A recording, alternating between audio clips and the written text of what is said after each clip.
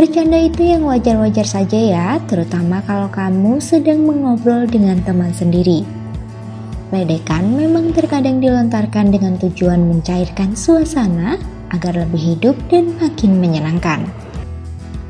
Tapi nggak semua orang merasa senang saat dirinya menjadi bahan ledekan, terutama saat membawa-bawa fisiknya. Buat kamu yang suka meledik teman, kamu harus tahu empat dampak teman yang sering dijadikan ledekan.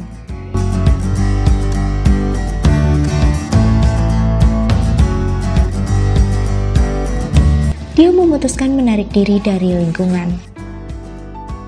Meledek fisik seseorang bisa berpengaruh besar dalam kehidupannya, apalagi dia tipe orang yang mudah merasa nggak percaya diri karena ucapan seseorang. Sehingga menarik diri dari lingkungan dilakukannya karena bisa saja temanmu sedang merasa malu, nggak percaya diri atau merasa kurang nyaman berada di satu lingkaran pertemanan yang sama denganmu.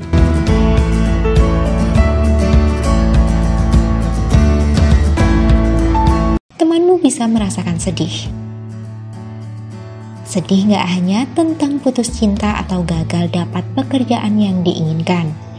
Kesedihan juga bisa datang akibat ucapan seseorang yang sangat menyakiti hati. Makanya jangan meledek fisik temanmu atau tentang apa pun itu, karena hal itu sama sekali tidaklah lucu.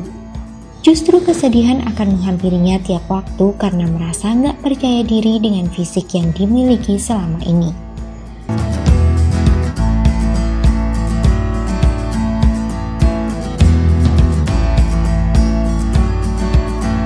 Dia bisa menjadi insecure. Susah payah temanmu membangun rasa percaya dirinya, seketika semuanya musnah karena ledekan yang diterimanya. Alangkah baiknya untuk nggak sembarangan berbicara atau bercanda walaupun pada teman sendiri. Karena kamu nggak akan tahu kesulitan apa saja yang dia hadapi dalam usaha mencintai dirinya sendiri termasuk juga fisiknya.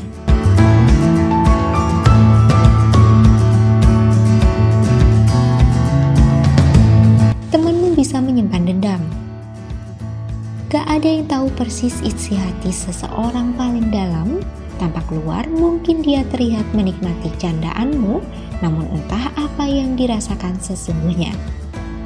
Meledek seseorang bisa membuat perasaan gak nyaman yang akhirnya menimbulkan sakit hati yang bisa melahirkan benci dan juga dendam. Apalagi dendam yang dia punya bisa membahayakan atau menyulitkanmu suatu saat nanti.